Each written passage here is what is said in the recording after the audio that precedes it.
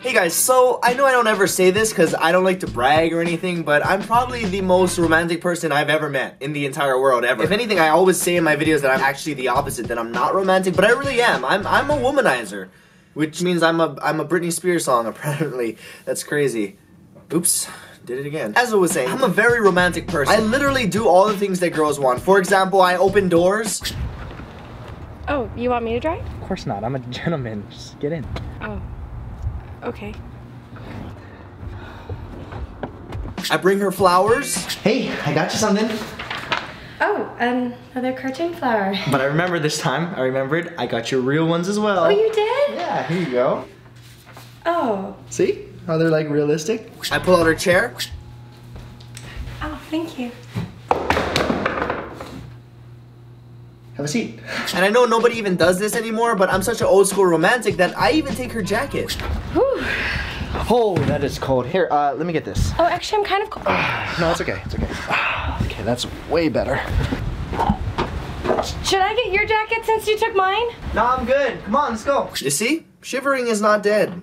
Or something like that. Anyway, if it isn't already incredibly obvious that I'm clearly joking, I'm horrible when it comes to romance. And I honestly believe it's because of romantic movies. They set the bar too high for the rest of us. Hollywood does the same thing every year. They take this best-selling romantic novel, turn it into a movie, all the girls in real life go and see this movie, fall in love with the main guy who's impossibly perfect and makes it impossible for the rest of us to compete. And when I thought about it, it actually gave me the idea that well, I should do that. So I did. Here's a little trailer representing pretty much every single romantic movie ever made, except for the fact that it's not based off of a novel. And of course, again, it's not a real movie, it's just a trailer. And also the main guy is me, which is, well, obviously that would never happen because, you know, look at my eyes. Hollywood would never cast somebody with eyes like this. Because, you know, I have bad eyesight, and if you had eyes like this, you wouldn't be able to read the script. And also, I mean, let's just be honest, Hollywood would never cast somebody with my type of race, you know, with my kind of genes. Because, I mean, if there was like a running scene or something, you know, I would never be able, to look at these things, these jeans are way too big to race in. And of course, the most obvious reason that Hollywood would never cast someone like me is because, well, I'm white. With that being said, here's pretty much every single romantic movie ever made. Take a look.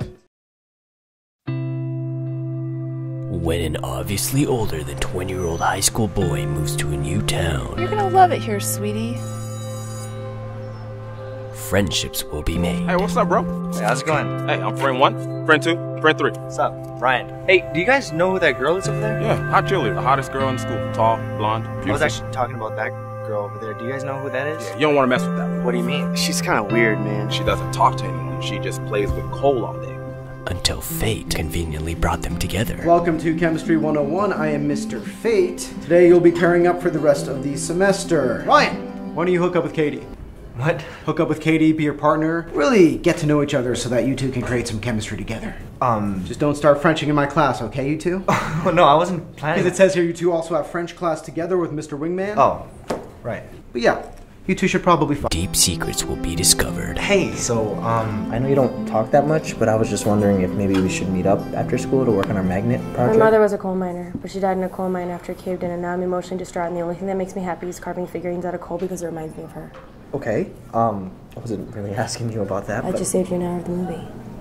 Two opposites will attract. so since my magnet is positive and yours is negative, it should be able to attract like, Like you.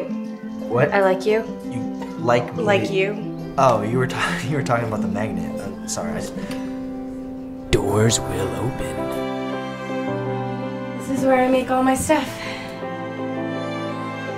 Wow, these are actually amazing. You could sell these. That's not why I make them. With a cute montage to show how perfect they are together.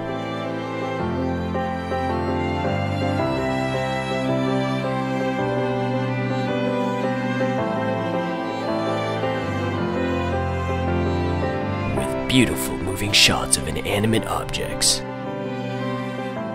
Corny lines for teenage girls to quote on Facebook. love is like a fart. It's warm, predictable. Sometimes it stinks, but it can also be the best feeling in the world. That's why I'm so happy I passed you that day. I know now. I fart you. And some insignificant fact that will probably make sense at the end of the movie. Hey, can I ask you something kind of random? Sure. Do you believe in miracles? No, I don't think so. Why not? I guess I've just never seen one happen before. But just when everything seemed perfect. Ryan, I need to tell you something. What's up? Why are you being all serious all of a sudden? I'm sick. Yeah, you're the sickest. No, I mean, I'm ill. Like I said, you're the illest girl I know. No, you don't understand. I'm terminal. You're terminal. But we're not even at an airport. Conflicts will start. Just talk to me. Just open the door. Leave me alone. All you care about is your stupid coal. Get out. Get out. Just open the door. Then go away and leave me alone. Stay the hell away from my daughter. Friendships will be tested. Yo, you need to stop hanging out with her, man. People are starting to talk about you guys. I don't care, man. You're right, you don't. Only thing you care about is her. Come on, friend one. Friend one. Lies will unfold. Wait, what do you mean I'm adopted? Rain will fall. From the people who brought you a walk to remember, The Notebook, and Paranormal Activity, RHPC presents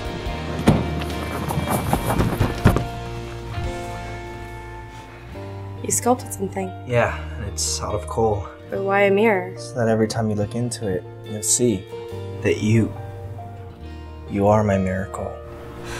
The Miracle. I fart you, I fart you too. but I'll see you in another life. Wait, what? Directed by Michael Bay. So thank you guys so much for watching. If you want to see bloopers and behind the scenes, click the one on the left. If you want to see the previous video, click the one on the right. And thank you so much to Arden for being in this video. If you want to check out her channel, click the one on the bottom. With that being said, I'm going to bed. Peace. That's from a video. I don't know what video that is from. I don't know.